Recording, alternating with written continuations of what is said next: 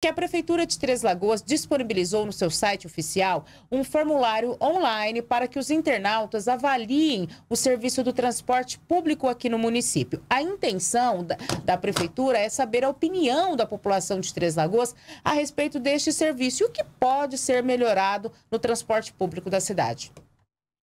A consulta pública ocorre a pedido de uma empresa contratada pela Prefeitura, a qual realiza um amplo levantamento sobre o serviço do transporte público, como explica o diretor do Departamento de Trânsito, Flávio Tomé. A Prefeitura contratou agora no começo do ano uma empresa para fazer um levantamento de todo o sistema de transporte coletivo, apontar quais são os problemas, é, dizer quais são as melhorias que nós podemos implantar e fazer um novo edital para a gente fazer uma nova concessão. Então, eles foram contratados para fazer um levantamento amplo para a gente conseguir, o ano que vem, ter um sistema que atenda realmente nossa cidade. Que, como eu sempre disse, nós temos um sistema que foi dimensionado, projetado em 2006, licitado em 2007, que já está muito aquém do que Três Lagoas precisa. Então, nós precisamos de um projeto novo, então nós contratamos uma empresa que está fazendo isso. Ela já realizou pesquisa dentro dos ônibus, nos pontos, e para atingir um público maior, ela pediu para a prefeitura se a prefeitura podia disponibilizar. Eles que fizeram o questionário, eles que vão analisar os dados, colocasse no site da prefeitura. O levantamento tem como objetivo melhorar o serviço de transporte público em Três Lagoas, que há muitos anos é alvo de questionamentos, de reclamações por parte dos passageiros. A ideia é melhorar sim drasticamente, mudar totalmente. O que nós temos hoje ficou para trás e começar um novo sistema.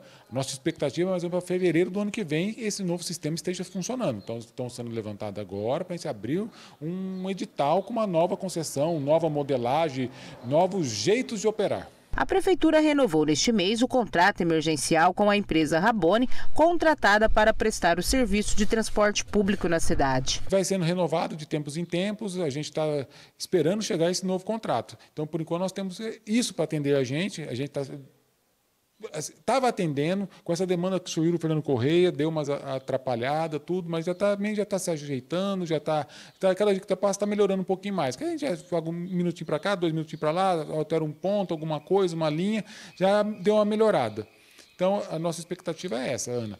É, esse ano ainda vai ser bem complicado e a partir do ano que vem a gente tem um novo sistema que atenda assim o que a gente quer é que atenda todo mundo, sabe? Desde o distrito de Arapuá, é, atenda sábado, domingo, feriado, período da noite, acabar com esse negócio que a gente tem hoje, que a cidade tem, mas não tem, sabe? Aquele negócio que a gente finge que tem, mas não tem. Então, agora a gente quer abrir uma nova concessão que a gente consiga realmente atender a cidade. Os passageiros reclamam da demora para os ônibus passarem em determinado ponto, da falta de identificação de alguns pontos, da falta de transporte em algumas regiões e aos finais de semana. Por outro lado, as empresas que sempre ficaram responsáveis responsável pelos serviços na cidade alegam que em Três Lagoas não existe uma cultura da população em utilizar o serviço de transporte público. Nós vamos ter que ter frequência Tá? É, a prefeitura com certeza vai ter que entrar arcar com um pouco dos custos. A gente não sabe quanto ainda, como vai ser feita essa conta, quanto vai ser a tarifa, nada. Mas é, para a população acostumar a andar, vai ter que ter uma frequência todos os dias, a pessoa vai ter a garantia você vai ter que passar, tá? Então, já com certeza alguma coisa a prefeitura vai ter que colocar, bancar do, do sistema para poder gerar esse uso da população e com o tempo às vezes vai diminuindo quanto a prefeitura tem que colocar conforme vai aumentando a demanda. Mas no começo, com certeza, a prefeitura vai bancar boa parte do sistema.